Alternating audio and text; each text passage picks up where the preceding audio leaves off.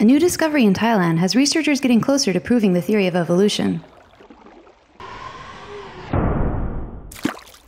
According to evolution, all higher creatures descended from fish, so the discovery of the cavefish, known more specifically as the Cryptotora thamicola, was a breakthrough. While there have been other discoveries in the past of fish with more evolved abilities, such as the walking fish, this species of cavefish has left researchers more than impressed. While they do not have legs, the bodies of cavefish are very similar in structure to tetrapods, which is the term for all four legged animals higher than fish.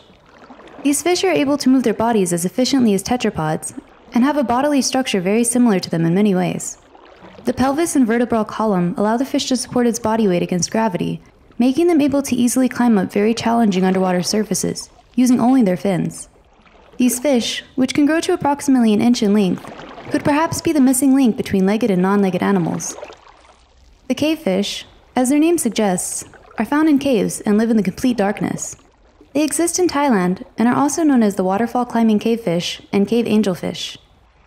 A team of researchers said that this discovery can tell us more about the transition from finned creatures to limbed creatures, which can be traced back to over 400 million years ago. If you like the video, let us know and subscribe for something new each week.